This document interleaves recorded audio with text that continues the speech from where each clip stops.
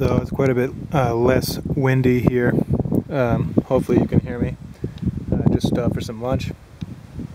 Um, uh, back on the hunt trail. Uh, well, I guess Appalachian Trail, Hunt Trail, same thing.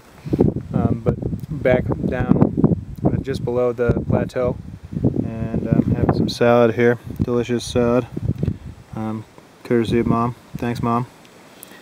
And uh, yeah, I'm gonna have some leftover pasta salad and some Fritos from last night's dinner. And then I'm gonna take probably 600 milligrams of vitamin I because my knees are hurting already.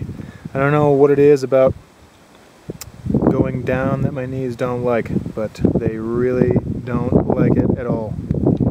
Um, hopefully that changes as I do more hiking because every up there's a down.